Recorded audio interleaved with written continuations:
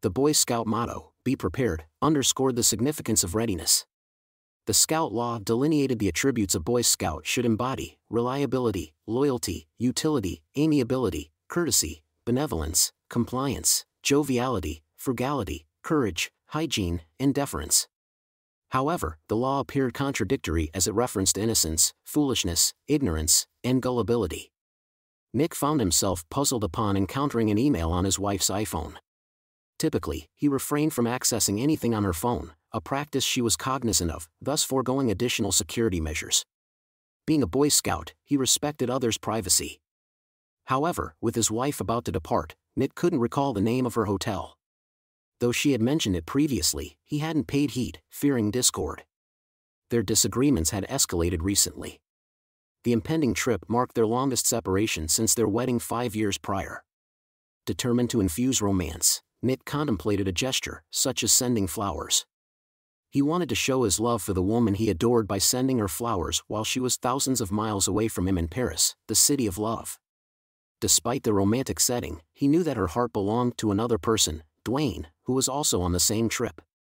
Curiosity got the better of him, and Nick entered his wife's phone password, their wedding date, and discovered a series of personal emails exchanged between his wife and Dwayne. They discussed walking along the waterfront after dark, taking a boat ride along the beach by moonlight, and spending the whole night making passionate love. Almost as shocking as their romance was the discovery that Nick's wife, Linda, and her lover, Dwayne, were using their work mailboxes to exchange messages. She, like Dwayne, should have been more careful. Like Nick, Linda was also a lawyer, and Dwayne worked as a paralegal at the same firm as Linda. The three of them had the experience of carefully analyzing documents in major lawsuits. In such cases, large teams of lawyers searched through countless emails in search of possible clues. Usually, scandalous intrigue appeared in such cases, which forced the legal team to assess its significance for the case and develop a strategy on how to minimize any negative consequences. Nick didn't pay attention when Linda informed him about the trip and the hotel where the team was staying.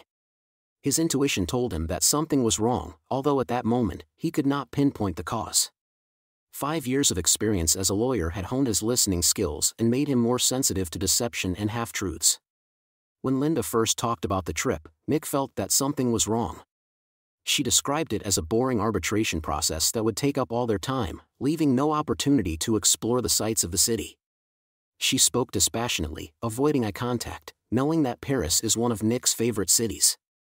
They often discussed the possibility of visiting it together, but Linda had never been there. Nick was puzzled by her answer, as he had never imagined such a disappointing outcome. The subject of the letter he was reading now pierced his heart like a sharp dagger. Why don't you just get rid of that Boy Scout so we can spend more time together and not worry? Dwayne wrote this message the night before. I feel safe with him, Linda replied. So why are you having fun with me behind his back every chance you get? You're better in bed. Nick was confused, not knowing what to do next. All he could think of was to forward all the emails to his address and print the message exchange in case of any doubt his initial reaction as an experienced lawyer was to preserve the evidence. After printing and saving the emails, and clearly realizing his intentions, he took a pause to consider the possible consequences before acting. Critical thinking was one of the key aspects of his legal profession, where intelligence was valued above physical strength. Time was running out because Linda had gone for a run and would be back soon. Before indulging in further thoughts, he needed to complete the business he had started and find a place to live but this place wasn't meant to be a romantic gesture. The reason why he needed this particular information eluded him, but he was sure that it was extremely important. Perhaps a suitable base would be a place next to the Eiffel Tower, somewhere within walking distance of the International Chamber of Commerce, where Linda and Dwayne were supposed to conduct arbitration proceedings with their colleagues. If they could find free time for meetings unrelated to work, after finding a hotel, he quickly found information on the internet about the rules of divorce in Virginia. Although he remembered some details from the bar exam he took five years ago, he decided it would be wise to check them out. Adultery was cited as a reason for divorce and could affect issues such as alimony and property distribution. Nevertheless, proving adultery is fraught with difficulties. One of them was the concept of connivance. If a person discovered infidelity but decided to resume an intimate relationship and live together, this could serve as her protection. He needed to leave the house urgently without entering into any confrontations, yet he planned to surprise her later with complete shock and awe. Without any unexpected problems, he was determined to take control of the situation in their marriage, even if it meant lying, which was contrary to his moral code. He considered it a necessary strategy in this battle. After all, as Churchill said during the war, truth is precious and it must be protected by a shield of deception.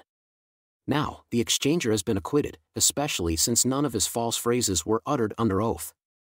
Going into the bedroom, he hurriedly began to pack his things. In the blink of an eye, he packed everything he needed and put his suitcases at the front door. Among the important documents were bank statements, credit cards, the 41st bank account, IRA account, car documents, payment receipts, mortgage documents, and Linda's last student loan balance. When she returned from her run, he heard her in the kitchen. Coming out of his basement office, wanting to look tired and disheveled, he deliberately assumed this look. When he saw his wife, her shoulder-length brown hair was tied in a ponytail and she looked attractive. Unfortunately, he found her repulsive. He had already come to terms with the fact that there was no more love in their relationship. I'm going to Paris, he announced with a grim smile. Linda's face turned pale, all the color drained out of it, and her once bright blue eyes began to look dull. What? she gasped for breath. Her shock quickly passed after she heard, Paris, Virginia, Nick spoke up. Sven just called. We have to testify in the insurance case and prepare a witness. We lost the coercion case, and the judge is furious. The investigation deadlines have been missed. I'll be traveling for a few weeks. Maybe I'll have the opportunity to visit you from time to time, Nick said. Linda expressed sympathy, saying, Poor thing. Nick playfully suggested, maybe your company is recruiting employees. Then he added, I'd rather work in your Paris. Linda looked worried at first, but then she smiled and said, Send me your resume. Who knows, maybe we will consider your proposal. It was all a joke because Linda's law firm was ahead of Nick's in the rankings.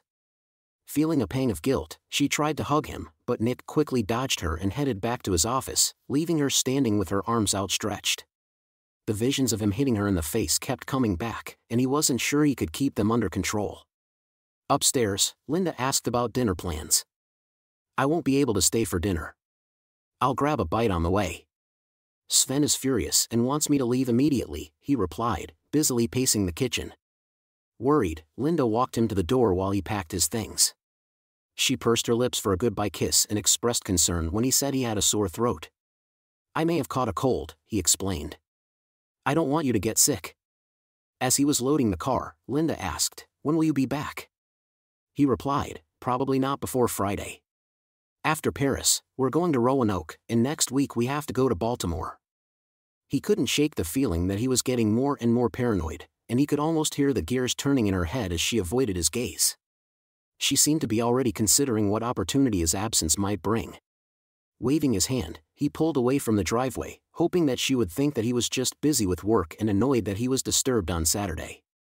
He was running out of energy for the charade, but he sensed that she was already plotting to invite Dwayne to her place. Nick drove until he got to the nearest mall where there was a cafe. Being a typical lawyer, he found clarity in writing everything down. Sipping his coffee, he began to write down the cases that required his attention.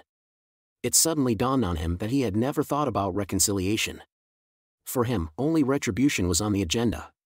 Only the scale of the retaliation remained unclear. Suddenly, the phone rang, and an unfamiliar number appeared on the screen. With a note of irritation, he replied, Yes. The voice on the other end introduced himself as Sam Granger and explained. Granger said that he had learned the number from the internet. He specializes in buying old houses to demolish them and build mansions in their place. He admitted that his work does not always meet with approval but stressed that people usually change their minds as soon as they receive a check from him. Granger's words came out quickly, leaving Nick in a daze. The cozy house did not seem old to him, so why demolish it? As his thoughts raced, he realized that Granger was really offering to buy this land. Granger mentioned plans for the construction of a shopping center but admitted that the construction dates had not yet been determined. He stressed the importance of a quick deal to make a profit and offered a good price if Nick and his wife agreed to sell the house. Nick suppressed a grin with difficulty. It was Linda who chose the house for them shortly before they tied the knot. The old ranch style house had a stunning courtyard that bordered a forest and a bubbling stream. Despite its proximity to major highways, the house seemed secluded and peaceful. What finally captivated Linda was the charming treehouse located in the courtyard directly opposite the window of the master bedroom. She liked that it was a ready-made house for children, and Nick was attracted by the affordable price and proximity to the subway. The convenience of a 30-minute train ride to work solved all their problems. Mr. Granger, I will be out of town for a few days, so I may not be able to provide access to the property. Just call me Sam, and I don't need to see the inside of the house. As I said, the house is in poor condition, and I have already inspected it from the outside. Can we meet Sunday morning? Sure. For your information, I will most likely conduct a power of attorney transaction with my wife since she is currently busy at work. Good. I will provide you with the necessary form. Nick wrote down the address and began to imagine how the plan would be implemented. She trusted her Boy Scout, didn't she? Linda did not know that Lord Baden-Powell based his movement on military intelligence, focusing on skills such as stealth, cunning, and self-confidence, including ambushes. She would be caught off guard because she would not see that she was being approached until it was too late. But first, it was necessary to conduct reconnaissance.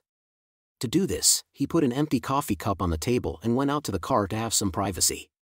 He dialed the number on his phone. When the call was answered, he immediately got down to business. Frank, I need a favor, he said. Frank Berry, a private investigator, had been working in the field of corporate law for five years but at the same time did not forget to provide gratuitous assistance to those who needed to resolve legal issues. This not only corresponded to his personal values of being a compassionate and responsive person but also gave him valuable court experience that was not available in his regular job. One of the law students asked Frank to help in a difficult divorce case when his stepfather was accused of abusing his stepdaughter. Despite the lack of urgency on the part of the police, Frank's evidence eventually led to the man's release and a quick resolution of the divorce issue. Frank listened as Nick explained what he had learned. Do you think your spouse will invite him to her bed today? Is she really that arrogant? She was one of the best students in her class at the Faculty of Law.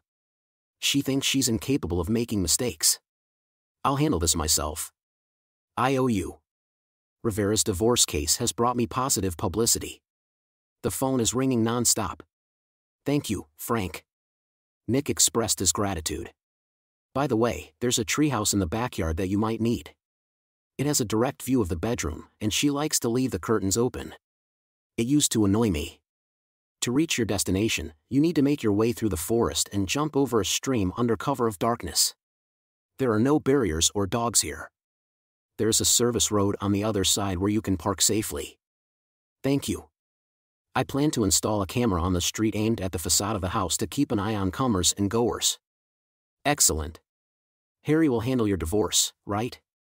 I suppose you want to get a divorce? Yes and yes. Good. I'm aware of his interest in sworn testimony in the reporting process. If you're right, we'll find out soon enough. Then Nick called Harry. Is this about the law school reunion, Nick? I've already received five calls offering to donate to their foundation. No, I need to enlist your help.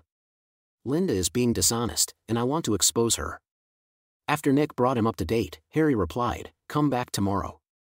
I understand that today is Sunday, but I still have some business to settle at the office, so I was just about to leave. Let's act right now. You seem to understand that adultery is unacceptable. Frank provided convincing evidence of adultery. The most difficult aspect will be negotiating a financial settlement. She is a lawyer at a large firm, so she will have the resources and support to delay the process. Nick assured him, Leave it to me. I believe we can handle this calmly and rationally. You won't take revenge, okay? Let's see what you can come up with, was the last, more cautious reply. Hello, Maggie, this is Nick. The silence on the other end of the phone was overwhelming. You're a sly fox. Glad to hear from you, dear, after all these years. What do you need? Nick. After all these years, I need your help. I thought Linda was your right-hand man.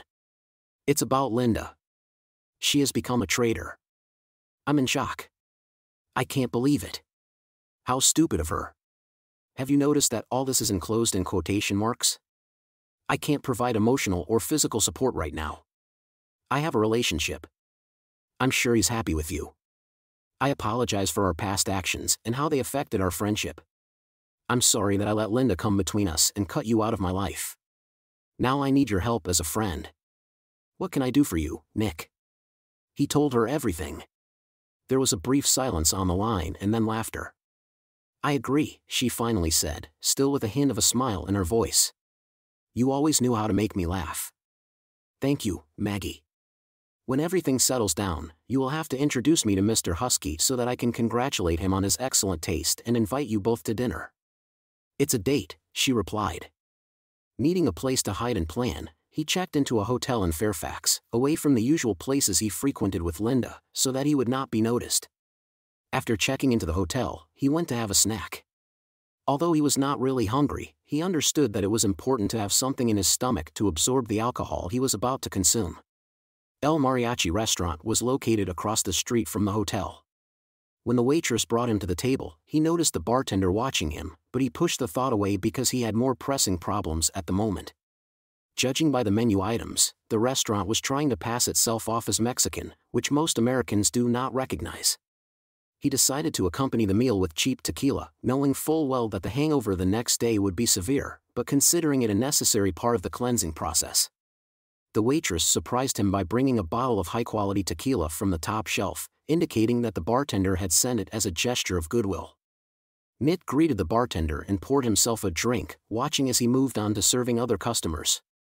Nick didn't immediately remember how he knew this bartender, he had seen him at Rivera's divorce hearing and at the criminal trial that Nick attended. The bartender always sat alone in the last row, and no one sat next to him. One day, Sona, his client's daughter, hugged him.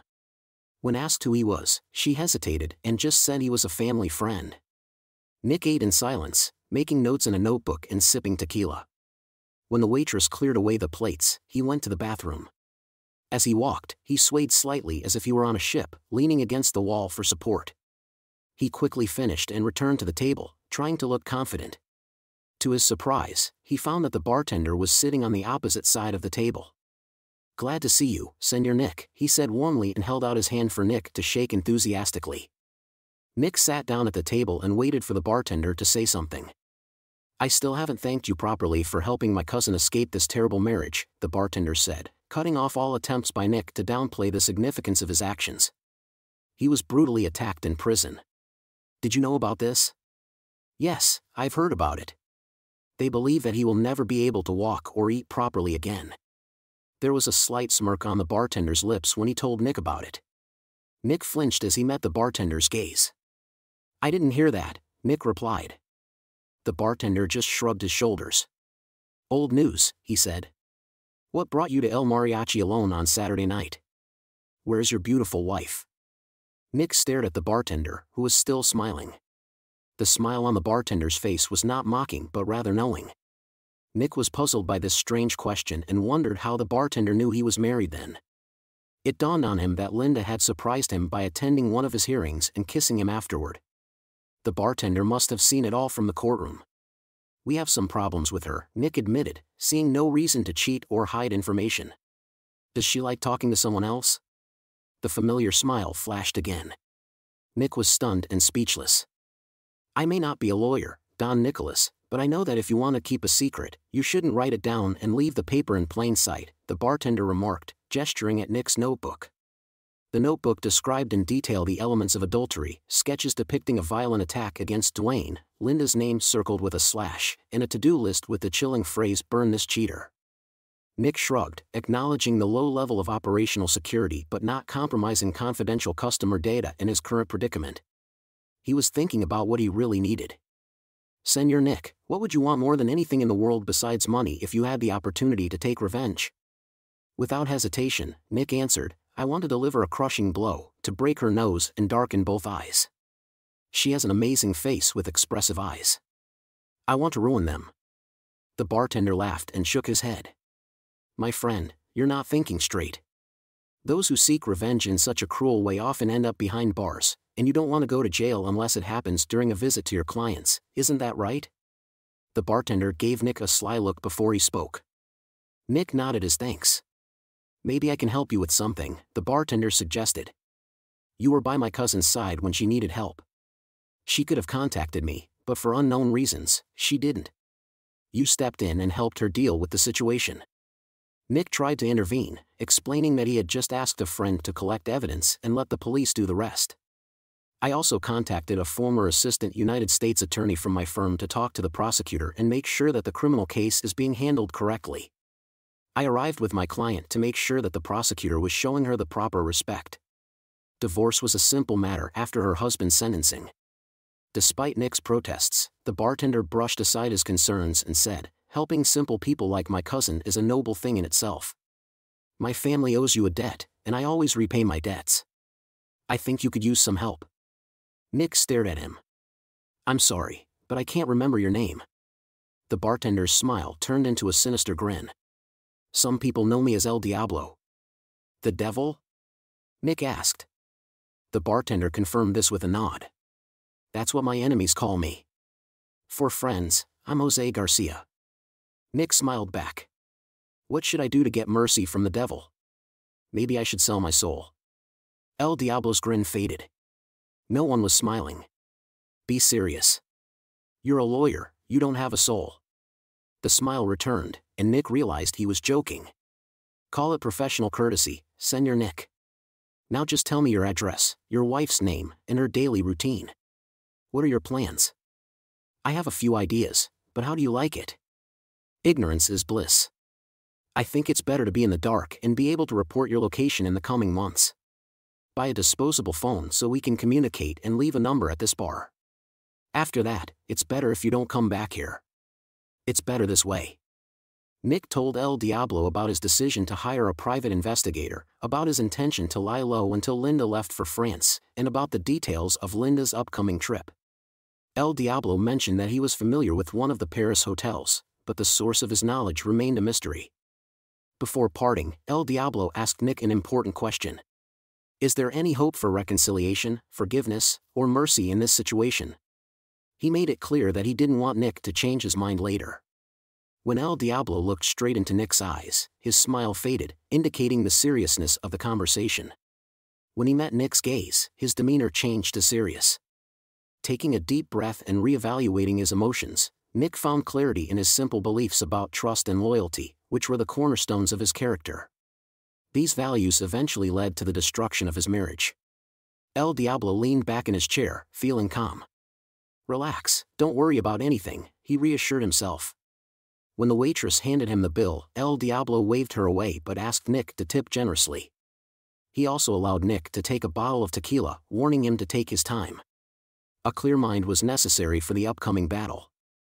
Surprisingly, Nick woke up Sunday morning without much of a hangover and got to Harry's law office by 10 a.m. Frank was already there and apologetically said, Sorry, Nick. She definitely slept with that guy in your bed. He was there two hours after you called me, and he was still there when I left this morning. We have a high quality video recording.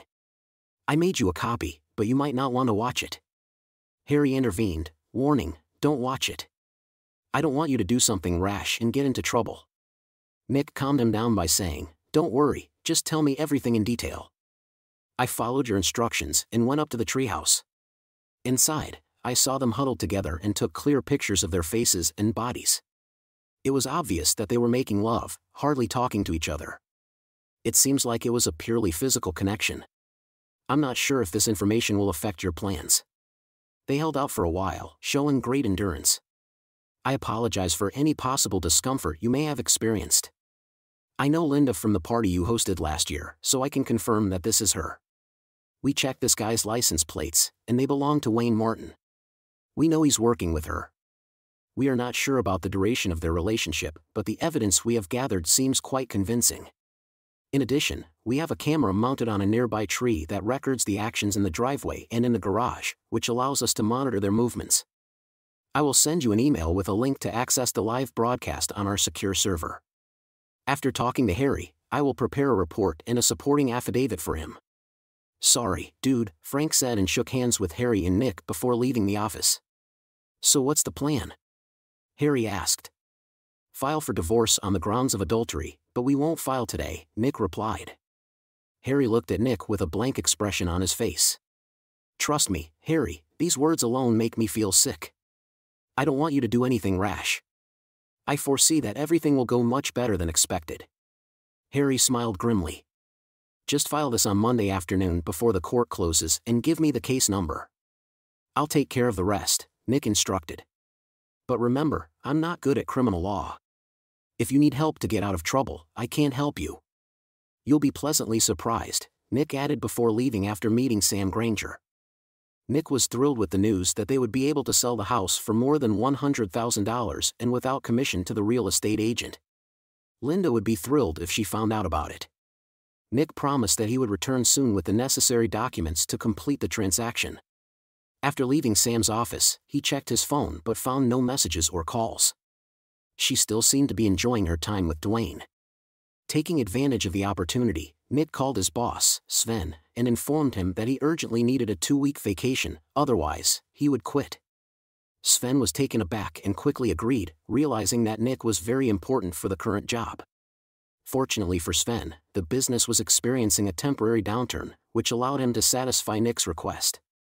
Having put his plan into action, Nick headed back to the hotel to attend to the remaining work chores. By Monday evening, everything was ready. Linda left voicemails on both Sunday and Monday evening but received no reply. Nick concentrated on saving his strength for Thursday morning. With the help of Frank's camera, Nick was able to verify that Dwayne had indeed spent Monday night there.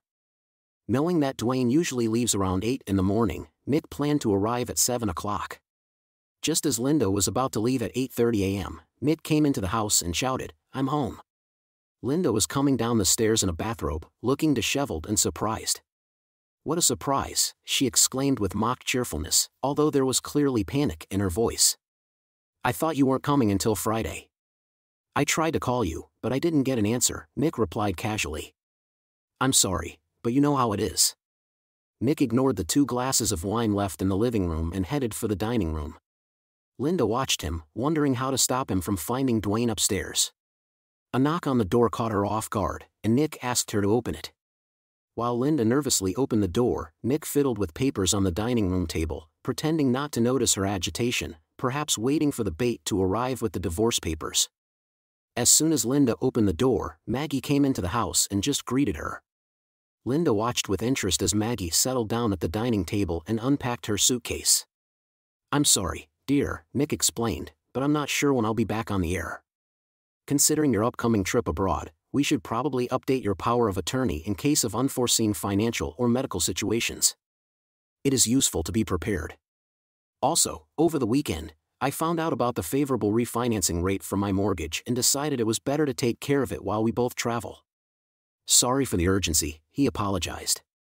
Linda turned to Maggie and asked, Who is this? when the artery in her temple stopped throbbing furiously. I'm Maggie, she replied. Nick explained that Maggie was a notary public, and Linda visibly relaxed when she heard the news, although her lover was still hiding upstairs. The situation hadn't gotten out of control yet. Are you always ready, my Boy Scout, for what? What is it? he asked with a grin, sitting down, although her eyes remained wary. I am who I am, honey, he replied, holding out his hand to Linda and spreading out the papers in front of her. The arrow flags indicate where to put the signature. Take your time and read the documents. I trust you, Linda said cheerfully and quickly signed all the papers in front of her. Nick silently prayed that she would do everything to the end, knowing what the consequences might be otherwise, but he remembered the saying, who takes risks wins. While Linda signed, Nick spread out the papers and handed them to Maggie, who notarized each one. Mrs. Buford, do you have a photo ID? Maggie asked. Linda got up from the table to get her purse. Maggie and Nick exchanged a knowing look, suppressing the urge to laugh, as Linda put her driver's license on the table. Maggie discreetly photographed them on her phone and wrote down the necessary data in her notary journal. Despite Linda's offer of coffee, Nick and Maggie politely declined while Maggie diligently certified the documents in her journal. Nick put everything in separate folders. When Maggie left, she put all her things away and smiled at Nick. When Linda turned her back on her, Nick kindly offered Linda a break, saying that he had a conference call and would be working in his office in the basement. Linda was relieved to realize that now she had time to discreetly help Dwayne leave and remove all evidence of his presence before Nick returned. Nick went downstairs, allowing Linda to believe that she had managed to deceive him. Ignoring Dwayne's heavy footsteps on the stairs and the garage door opening for her car, he pretended not to notice anything. but the sound of the shower running in the main bathroom made Nick quickly pack up all his things, leave through the door to the basement, and leave without saying a word to his wife. Two hours later, after a hearty breakfast at the diner, Nick found himself in Harry's office. Harry was visibly taken aback.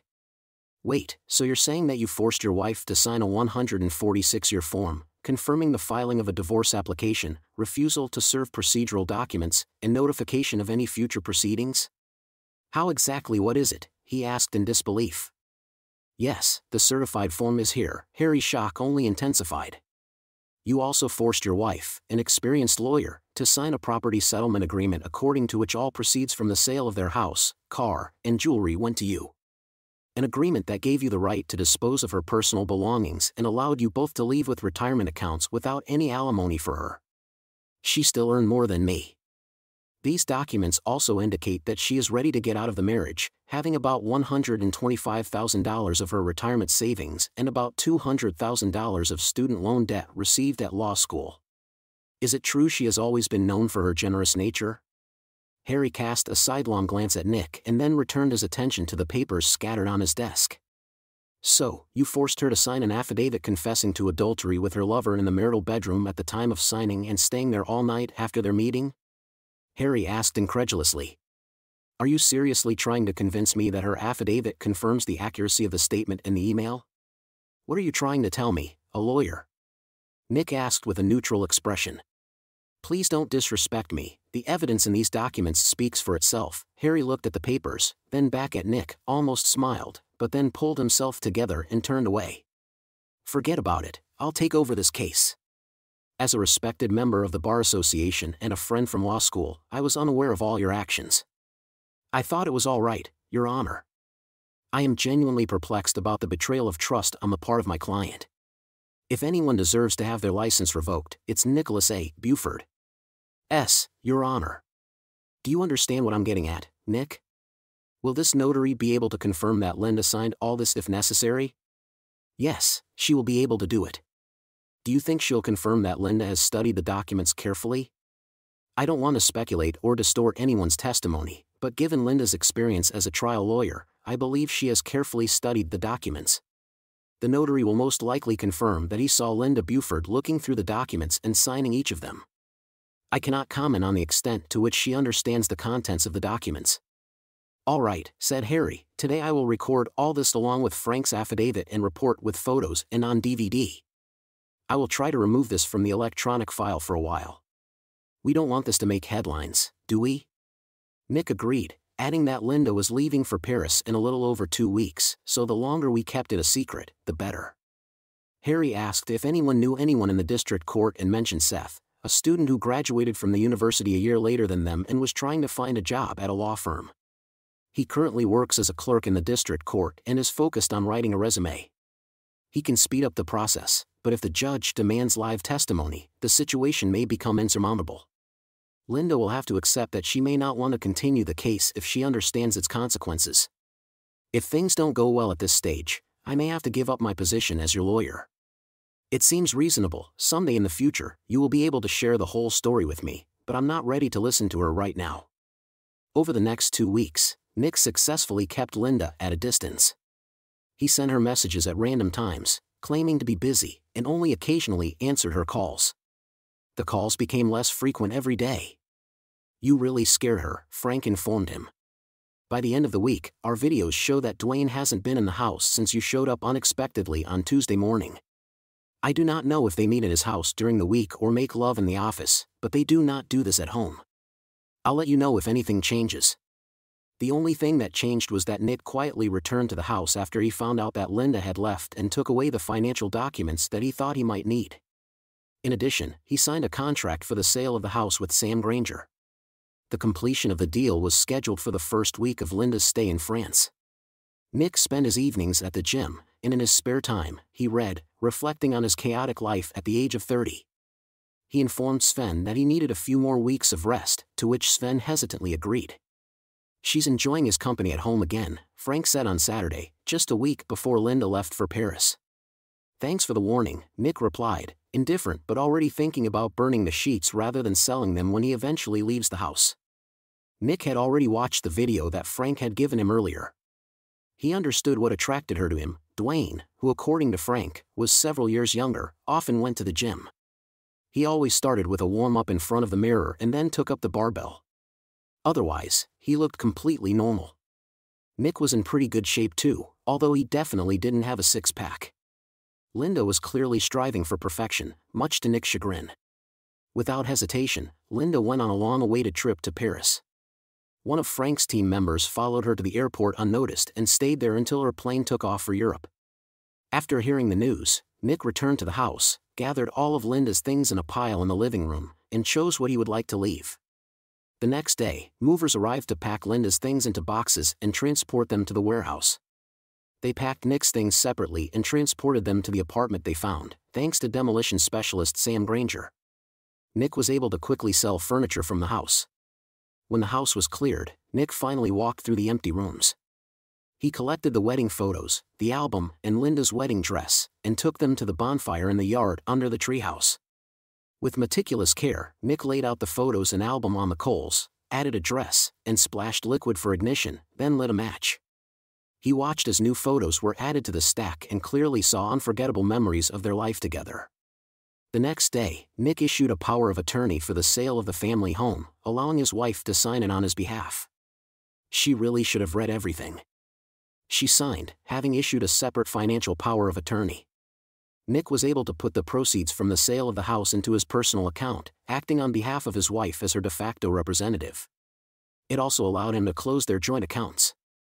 Unfortunately, just three days later, when Linda was still at the very beginning of her trip to France, a construction crew demolished their house. The rubble was cleared within a few days, and work began on the preparation of a new site. But the tree, which provided shade and was an ideal place for children, had to be removed. A gazebo was put in a new place, and Nick and Linda's once happy house turned into just a large square of land. Construction suddenly stopped because there was a problem with obtaining a permit. Nick and his friend from law school, who worked in the district permits department, were optimistic, believing that the issue would be resolved soon after Linda's return from France when the necessary forms would be processed and approved. Throughout this time, Nick deliberately ignored all of Linda's attempts to contact him he did not respond to her calls, texts, emails, and voicemail. When friends and family contacted him on behalf of Linda, Nick simply replied with a short message claiming that he was busy and on a business trip to avoid unwanted guests. El Diablo contacted him on a prepaid mobile phone. He mentioned that Linda and Dwayne looked tense and unwell, hinting that maybe Linda suspected something was wrong. When Nick asked how he knew this, El Diablo simply said that he had connections everywhere, even in Europe. El Diablo then asked Nick if he was ready to return Linda's wedding and engagement rings. Nick refused, and El Diablo suggested that someone else buy them instead. Nick flatly refused, but El Diablo mentioned that he might know a potential buyer of the rings. On Wednesday, just two days before Linda returned from Paris, Nick found himself in Harry's office. I can't believe it, but here's the divorce decision, he said, handing over the document. Seth, who was also present, remained silent. I don't want to know the details, Nick quickly added. Just consider yourself lucky and congratulate yourself on being single again. Harry then announced that he would send the final version of the document to Nick's ex-wife, expressing confidence that she would be pleased with the result. As Nick was heading to his car outside Harry's office, his phone rang. Although he did not recognize the number, he immediately realized from the distinctive voice on the other end that it was El Diablo. Nick, you need to rest, leave right now, go to a place where there are many people who know you and can confirm your location, El Diablo advised, abruptly interrupting the conversation. Nick suddenly realized that it had been a long time since he had seen his college buddies who lived in New York. Fortunately, he didn't have any commitments in the coming days, which allowed him to go on a spontaneous trip. On the same day, he visited many exhibitions, several museums, and chatted with different groups of friends over food and drinks, using mainly his credit card for payment he always left generous tips at the hotel, wanting to be recognized by the staff. During his stay at the hotel, he immediately sent a copy of the DVD, which shows him burning his ex-wife's wedding dress and album, to her parents by express mail. Late Sunday night, in Manhattan's Little Italy, Nick got a call from his father-in-law while he was enjoying coffee and cakes. Nick, where are you? Linda is going crazy, she's in the hospital, his father-in-law exclaimed. Nick asked what happened. His father in law explained that Linda returned from a trip on Friday and was abducted along with her colleague at the airport. They were found under the influence of illegal substances and released only this morning. Linda's colleague was severely beaten. Nick's father in law's voice trembled as he talked about how Linda, who Nick would once have shown compassion for, found herself in such a difficult situation. Linda woke up to a shocking discovery she was completely covered in tattoos with disturbing inscriptions. Before she could figure out what was going on, a masked man entered the room and attacked her. Impressive, Nick thought. In fact, it was the cherry on the cake. On Sunday, he would have found satisfaction in the fact that Linda understood his betrayal, as well as the fact that she betrayed him in their marriage. It would be worth an immortal soul if he had one. I'm sorry to hear. That I'm away now. How can I help you? Nick felt the shock in the other's voice. You're her husband, she is your wife. I'm sorry, but that's not the case anymore. We finalized the divorce, and the court's decision was made only last week. She's having an affair with a man she's traveling with. What's going on here? Nick realized that he had been harsh, but he didn't care. I have a video recording of her intimacy with someone else, not with me. Would you like to see it?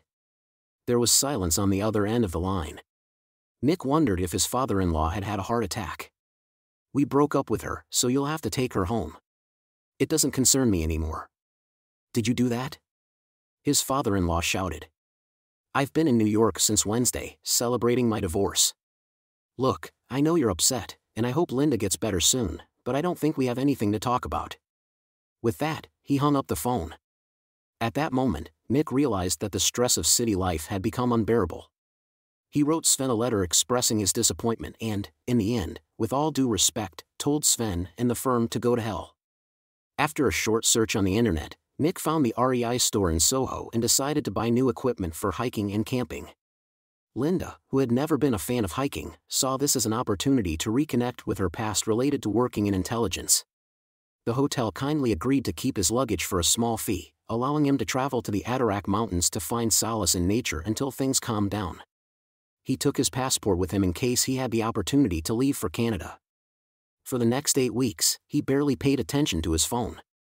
At first, he suspected that some abnormal woman had taken his ex-wife's phone because there were many messages, perhaps hundreds, filled with seemingly frantic pleas and tears. He listened to only a few and deleted the rest, along with a bunch of crazy emails. Her account must have been hacked. It seemed impossible to find the time to read it all. He hoped that the woman would ask for the help she needed. Eight weeks later, Nick met Frank for a drink, and Harry joined them. Harry explained that their relationship with the lawyer ended as soon as the decision to divorce was made, which he notified Nick by registered mail. Nick admitted that he hadn't checked his email yet. It's a big storm, my friend, Harry remarked. What do you think, Frank? More like a typhoon, don't you think? Frank nodded in agreement. Definitely, the destruction is incredible. Harry quickly finished his bourbon and signaled for another one. Go on, Frank, he said. On Monday morning, the former Mrs. Buford arrived at her former home with her parents. The external camera, forgotten in the chaos, remained in place. When she saw the empty lot where her house once stood, she was overwhelmed by emotions and had a complete breakdown. Falling to her knees, she began to sob uncontrollably, curled up in a ball. Her breakdown intensified, she kicked and screamed like a child who had caused a scandal at the mall. The appearance of a team of workers with equipment only spurred her rampage. Her composure was shaken again when the construction workers noticed the tattoo on her face and burst out laughing despite the signs of physical violence, raccoon eyes and a patch on her broken nose. She couldn't control herself. Harry intervened to continue the story. In the afternoon, she arrived at my small office with several lawyers from her prestigious firm, who looked very intimidating. Since they didn't have an appointment, I made them wait for 25 minutes. I discreetly made sure that my Glock was loaded and lay within reach on my desk. Fortunately, we were in Virginia. When they finally entered, they were all shouting about urgent petitions, lawyer complaints, and contempt proceedings. It was hard for me to focus on their words as well as look away from the tattoos covering her face. The text was clearly highlighted in red and blue ink so that it could be seen from afar. As soon as I got my attention back, I asked what exactly it was about and which statement was not true. There was silence, and everyone exchanged glances. Then I asked if there was any disagreement about your ex-wife's accusation of adultery, to which everyone confirmed while they were waiting in. I turned on a video I had prepared, which showed Linda in the marital bed bouncing on someone who was not her husband. It was obvious that they had not yet read all the case files. Confusion was reflected on their faces when Linda began to shout that she had not been given the opportunity to explain herself. I told her the reason didn't matter, she did it anyway. Finally, she calmed down and admitted that she had not consented to the sale of the house and asked why her wedding dress photos and album were burned. All these things belonged to her personally. I gave her copies of the power of attorney, one of which authorized the sale of the house. I also showed her the property sharing agreement which gave you the right to dispose of her personal property as you see fit and mentioned that she was lucky to have clothes left. I asked if she disputed that the signature on the documents belonged to her. She replied in the negative but stated that she did not agree with the contents of the documents. Then I asked if her defense was based on the fact that she never checked what she was signing. I asked her to think about how she would behave under cross-examination if she challenged any details in court. After my remarks, she fell silent. In addition, I raised the issue of her signed affidavit, which stated that her lover was present upstairs during the signing. I asked about the authenticity of this statement. At the moment when she lost consciousness, her group was trying to revive her, and I quickly dialed the emergency number. Despite their efforts, she stubbornly refused to go to the hospital. Suddenly, she started screaming about tattoos and that her lover had been attacked. I assured her that the situation had nothing to do with you, especially since you were out of town. Most likely, Dwayne angered someone, perhaps a jealous spouse or a woman who felt threatened by Linda's relationship with him. I informed them so they know the location of the Fairfax police department in case they need to discuss a criminal case. Harry then noted that the situation had taken a positive turn as they continued to discuss filing a motion for reconsideration. At this point, I mentioned that I received an anonymous letter this morning containing links to videos of Linda and Dwayne lying in bed together before going to Paris. The message contained a threat to send the video to all of Linda's contacts, claiming that Nick did not know about it and could not prevent it. The sender mentioned friends whom Nick had helped before, promised protection, but warned of imminent actions if Linda did not back down. Do you have any information about this? I wasn't at home when it happened. They left, and I haven't heard from them since, and nothing has happened at the courthouse, Frank continued. Most likely they contacted Ed. The police and a couple of detectives arrived at the scene. They requested copies of the videos and the report but soon lost interest in them. Linda and Dwayne couldn't provide much information about what happened. All they knew was that they took a taxi from the airport and the next thing Dwayne remembered was that he woke up in the hospital. Linda ended up in a rundown hotel, was attacked, and then went to the hospital. Her credit card was charged for the room, room service, and minibar.